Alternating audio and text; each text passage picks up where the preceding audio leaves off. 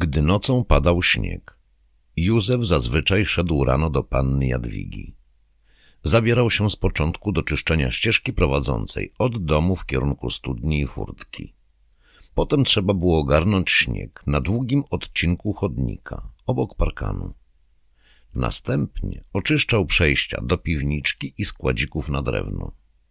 Robota była ciężka i czasami, gdy śnieg padał dużymi, wilgotnymi płatkami, zabierała mu parę godzin. Ale chętnie to robił. Miał doskonałą zaprawę do utrzymania ciała w dobrej formie fizycznej. Poza tym była to duża pomoc pannie Jadwidze, która na tę robotę straciłaby może cały dzień. To też była bardzo mu wdzięczna. Gdy Józef kończył swą robotę, przygotowywała dla niego pożywne śniadanie. A później, kiedy nadszedł termin płacenia komornego i wręczył jej piętnaście litów, zwróciła mu siedem i pół. Powiedziała, ponieważ pan tutaj nie mieszka, będę brała od pana tylko połowę komornego. Ale inny lokator by mieszkał i płacił całe komorne. Kto wie, jaki byłby inny lokator? Nie każdy ma ochotę i siłę do uprzątania śniegu, a pan mi pomógł nawet drzewa na opał przygotować. To raczej ja powinnam panu płacić. Ale nie stać mnie na to. Tymczasem mieszkał nadal u Luby, bo mu było łatwiej się wyżywić, ale się cieszył, że ma w rezerwie dobre mieszkanko. W połowie grudnia, gdy wieczorem wrócił z pracy w akademii, usłyszał na schodach ciężkie kroki. Potem u drzwi do przedpokoju rozległy się dwa krótkie dzwonki. Najczęściej drzwi otwierała Luba, jeśli była w domu. Lecz teraz poszedł Józef. Zobaczył na podejście Henryka, który miał za sobą plecak i duży pakunek. Józef był zdziwiony niespodziewaną wizytą. Wpuścił gościa do przedpokoju i zamknął drzwi. Potem wprowadził go do swego pokoju. Co się stało? Zaraz odpowiem, ale poufnie. Dobrze. Powiem Lubie, że przyszedłeś do mnie w sprawie osobistej. Henryk opowiedział Józefowi taką historię. Przed dwoma dniami przyszedł do jego mieszkania cywil. Okazał mu legitymację oficera policji i zaprowadził go do gmachu NKWD, a raczej KGB. Tam zaczęto go szczegółowo badać. Wypytywano, co robił przed wojną, kiedy służył w wojsku, o stosunki rodzinne, o znajomych, o organizacje podziemne. Z początku Henryk się przestraszył, bo przypuszczał, że aresztowano go w związku z zeznaniami majora, który od dawna gdzieś zniknął. Mógł więc być aresztowany. Jednak w trakcie badania zorientował się, że o majorze nic nie wiedzą. Nie wspomniano również o grupce polityków, z którymi Henryk od czasu do czasu odbywał konferencje. Natomiast wymieniono wiele znanych mu nazwisk Wilnian, z których wielu się ukrywało w mieście lub na wsi. Henryk powiedział, że mieszka z rodziną na uboczu, trudni się naprawą przyborów elektrycznych i zupełnie się nie interesuje życiem w mieście, bo nawet nie ma na to czasu.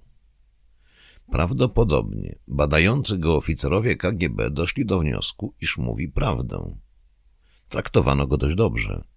Były pogróżki, ale go nie bito. Spał w małym pokoju bez żadnych sprzętów. Okna były w nim zakratowane. Łóżko zastępowała mu leżąca na podłodze tapeta. Wreszcie dano mu następujące instrukcje. Musi odnowić dawne znajomości i zawierać nowe.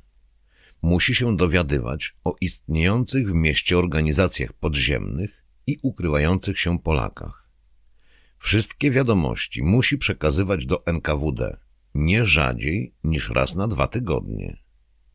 Wzięto od niego pisemne zobowiązanie, że zachowa w tajemnicy wszystko dotyczące badania go i zaangażowania na konfidenta.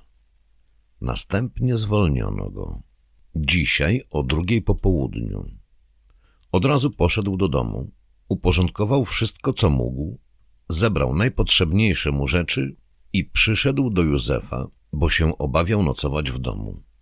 Zamierza na zajutrz wyjechać na Litwę, do folwarku, w którym ukrywał się poprzednio. — Czy można u ciebie przenocować? — spytał Józefa. — Oczywiście. Będziesz spał tutaj, na moim łóżku. A ty? Znajdę sobie miejsce. Narobiłem ci kłopotów. To drobiazg. Gdyby zaszła potrzeba, spalibyśmy nawet na podłodze. Ale co powiedzieć lubię o przyczynie twej wizyty.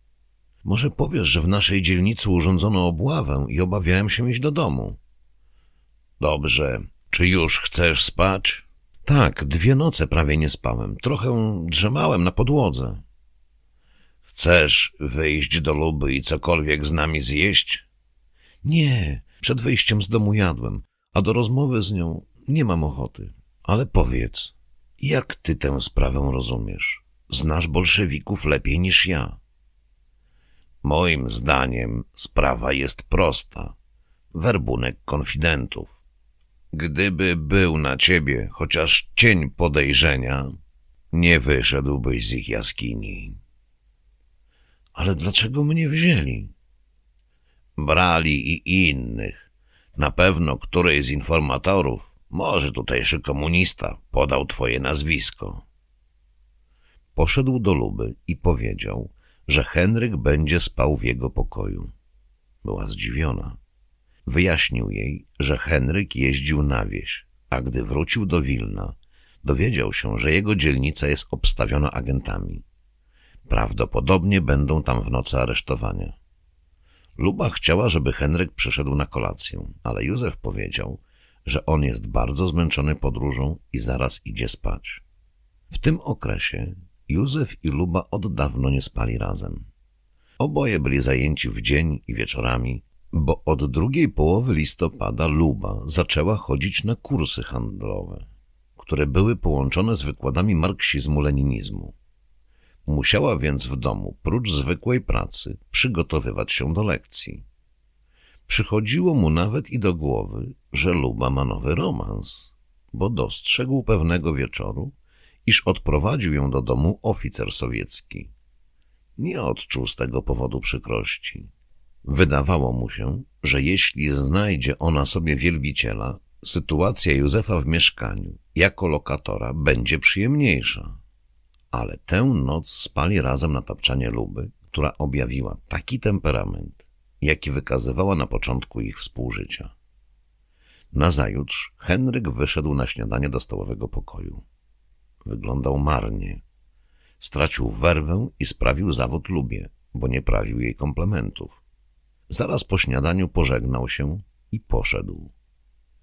W ostatnim dniu 1940 roku na Sylwestra Józef wstąpił wieczorem do Antoniego.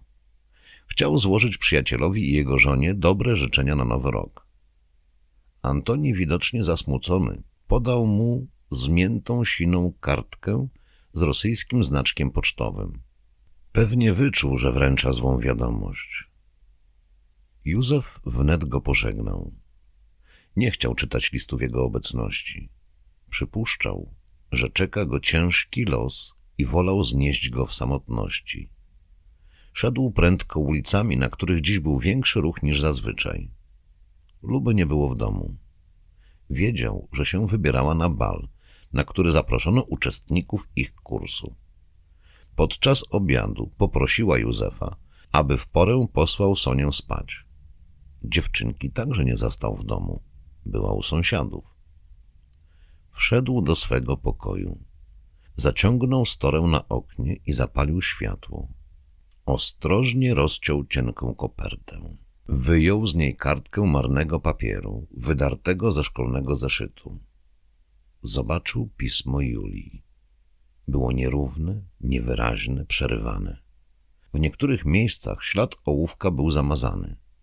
Nie zaczął jeszcze czytać, a już zrozumiał, że nowina jest dla niego okropna. Położył na stole kartkę papieru i skręcił papierosa, jakby chciał odwlec chwilę, w której stracił wszelką nadzieję. Julia napisała Mój kochany, jedyny, ciężko mi pisać do ciebie, ale trzeba. Mama zmarła w drodze, a ja wkrótce odejdę.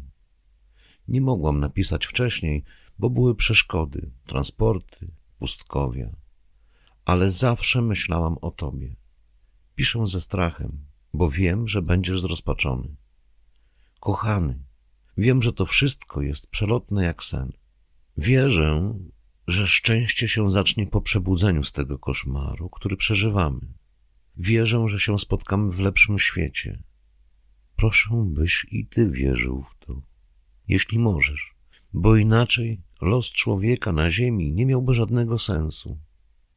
Żyj normalnie, nie rozpaczaj, wspominaj mnie radośnie.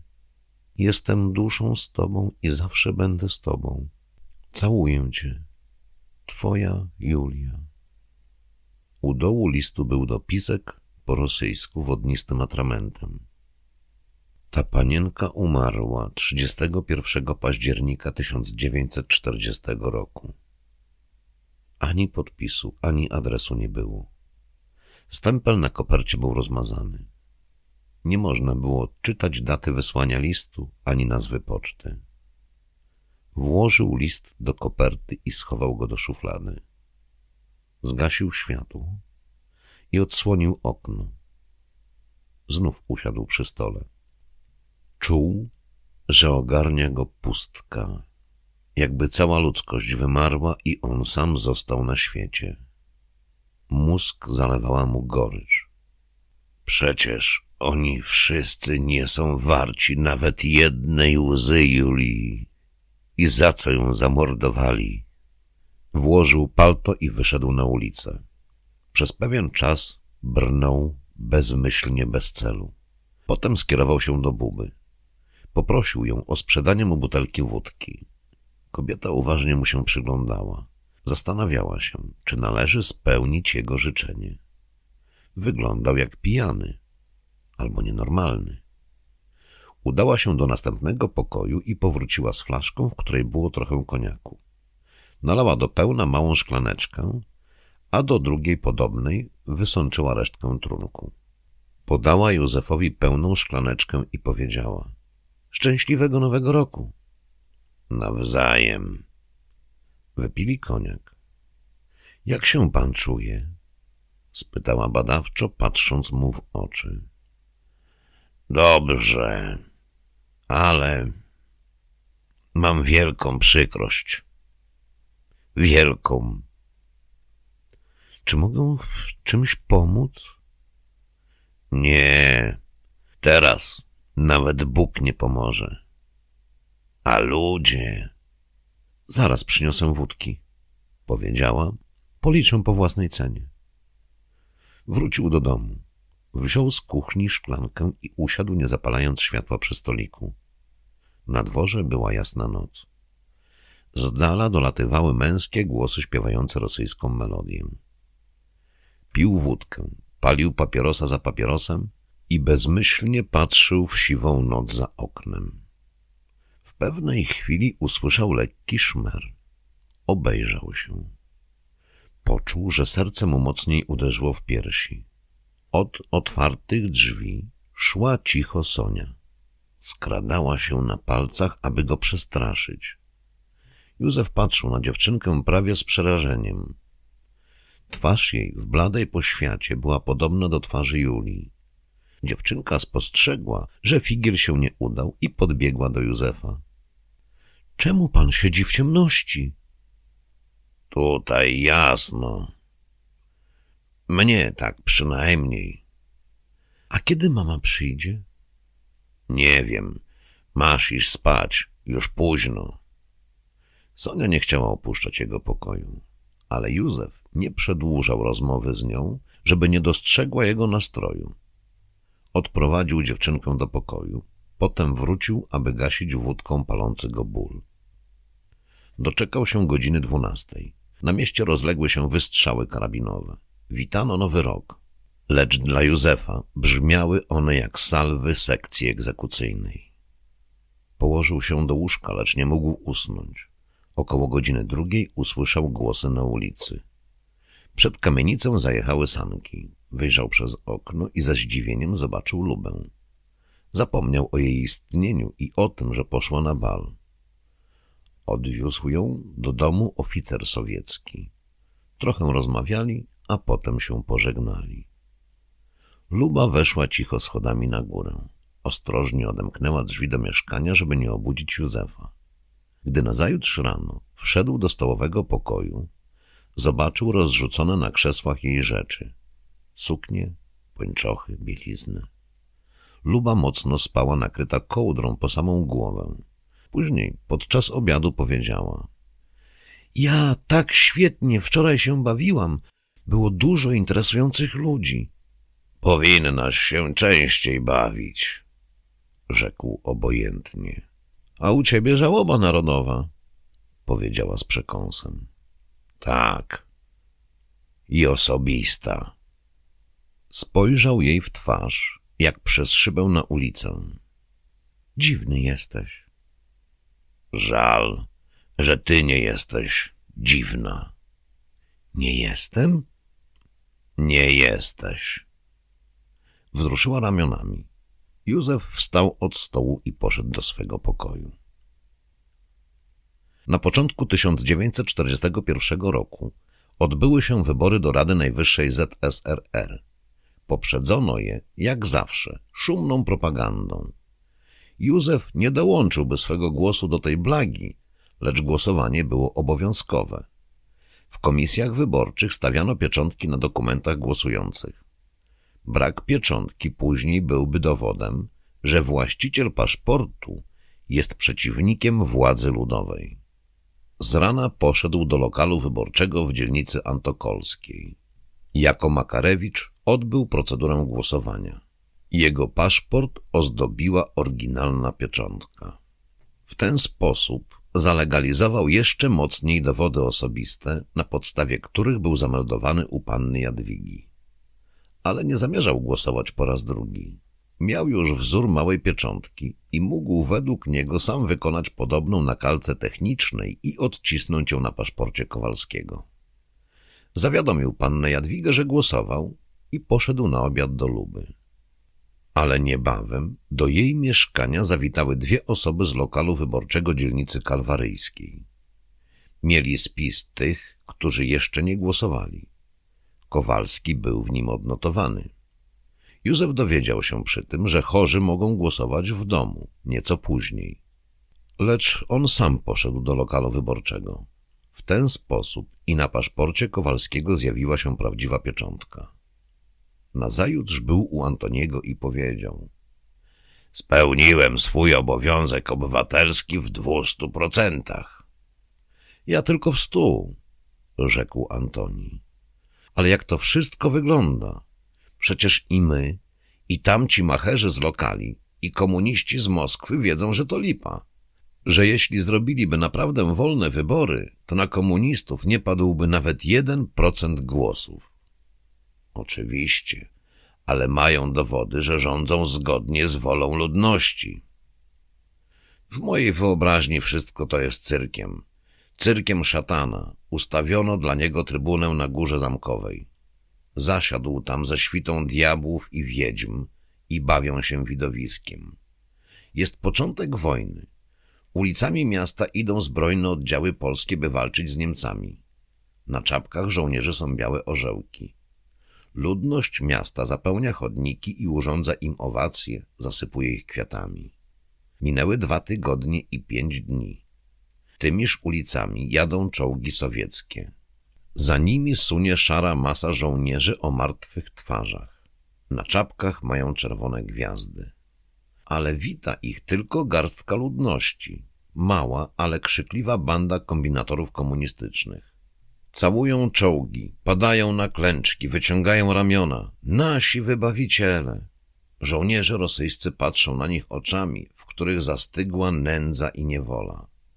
Szatan klaszcze w dłonie.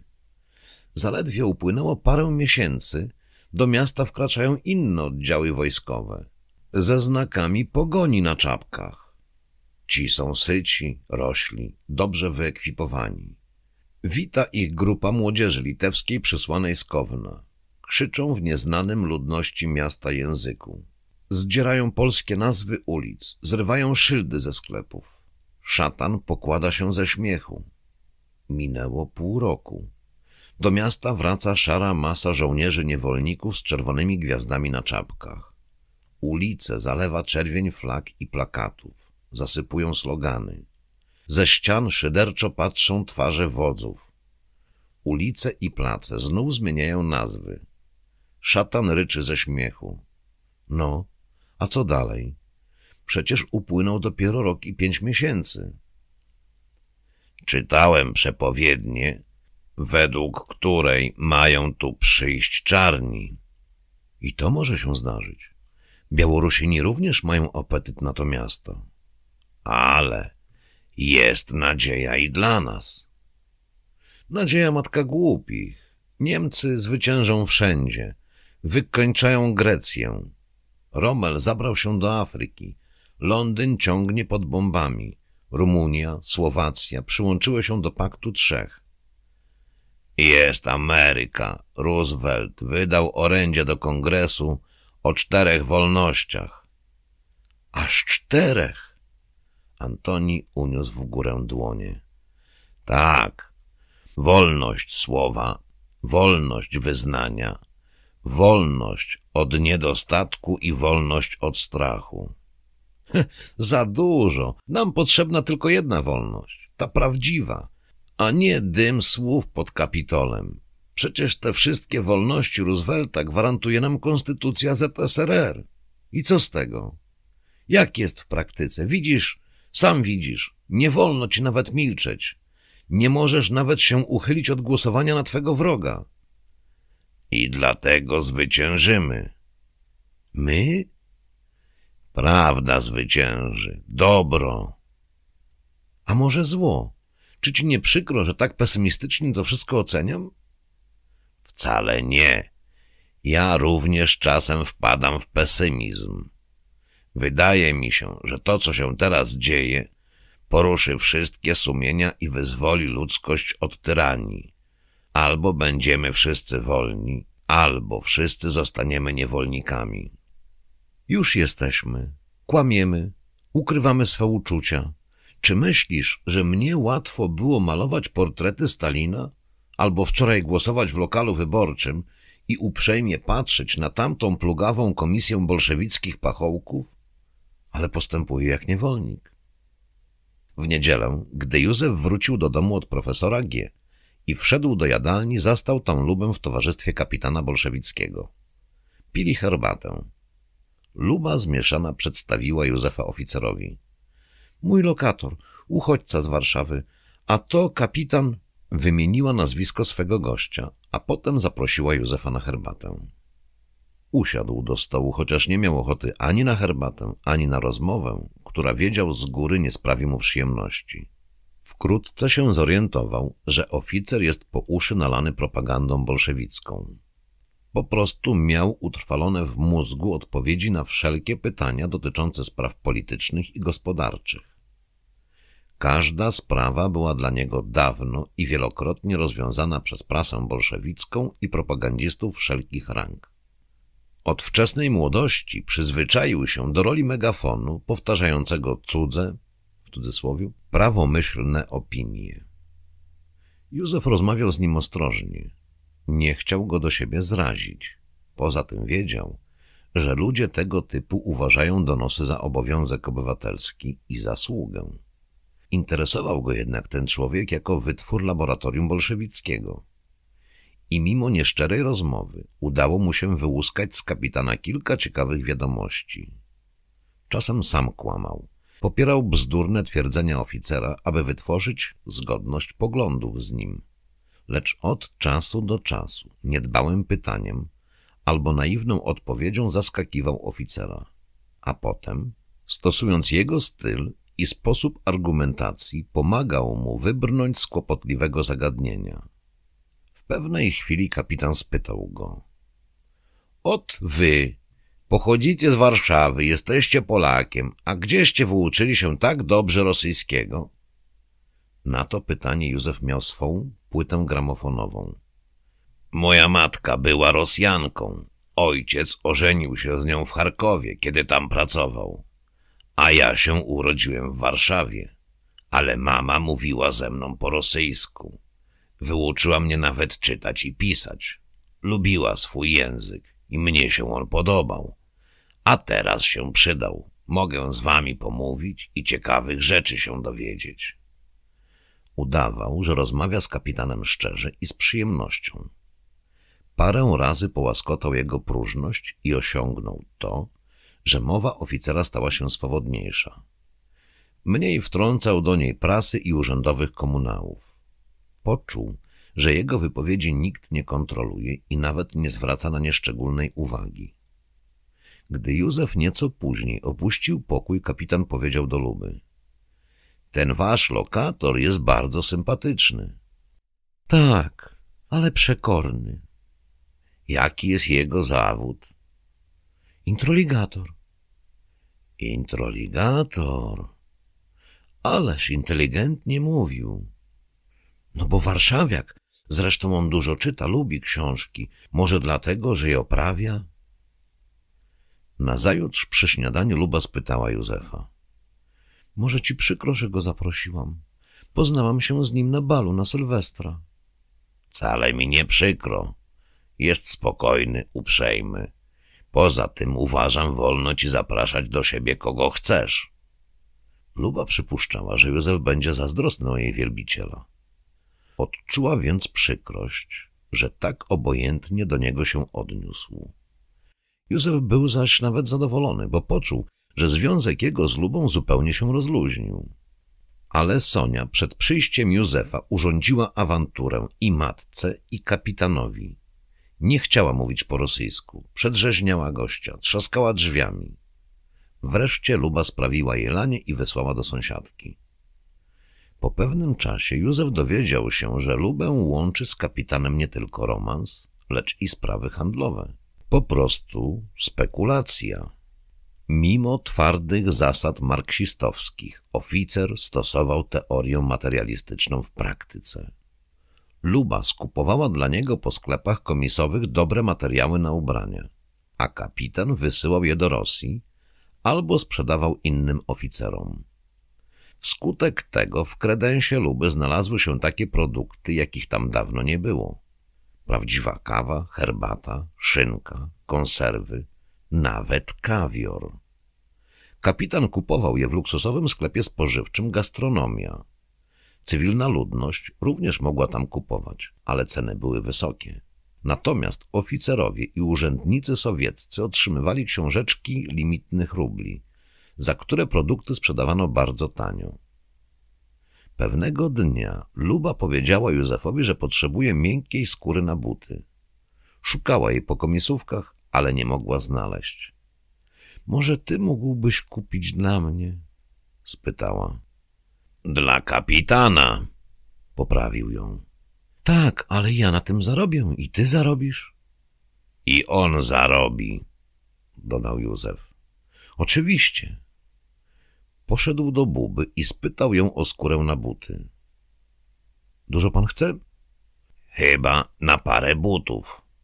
Dla siebie? Nie, dla czubaryka. Niech więc pan go spyta, ile skóry chce, jakiego gatunku, jakiego koloru i na kiedy. Dopiero wówczas się dowiem i powiem panu cenę. Dowiedział się od Luby, że kapitan chce czarnego chromu. Może być nawet na dwadzieścia par butów. Pieniądze na zadatek już są u niej, ale nie trzeba nikomu mówić, dla kogo się kupuje, bo Luba załatwia te sprawy poufnie. Znów poszedł do Luby i powiedział jej, czego potrzebuje.